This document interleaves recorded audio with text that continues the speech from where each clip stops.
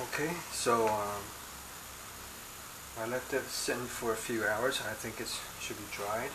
I'm going to uh, test the leak uh, with a bucket of water.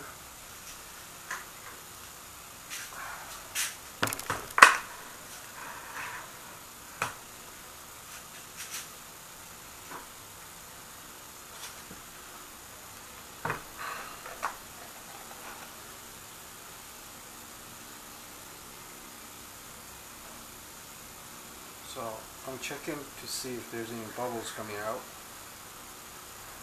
Not sure if you can see this, but uh, so far so good. There's no leakage yet.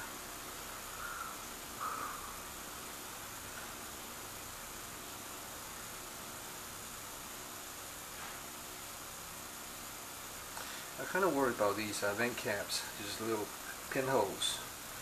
Um, what I'll do is I'll probably uh, use uh, use some glue um, or a syringe just to fill the hole just in case.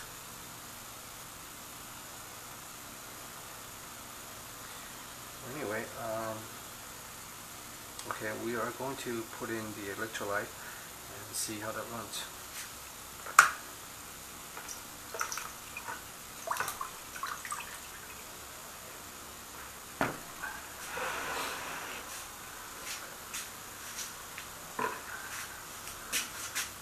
No, before doing that, we have to uh, we have to get these uh, get get some washer and nut to to finish the uh, connector here.